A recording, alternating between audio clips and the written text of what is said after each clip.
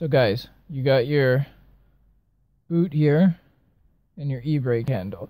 What you're gonna do is you're gonna squeeze down here and push and that will release this. Okay, once that's released, you're free to the mechanism.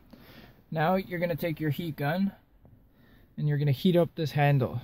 If you don't have a heat gun, use your mom's blow dryer.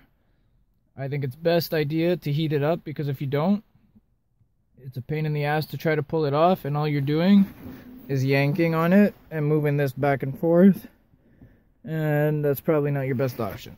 So heat this baby up and just twist and pull forward and twist and pull forward and then it will slide right out with the whole boot and as you can see hollow on the inside and it just slides down this too and I will be replacing that with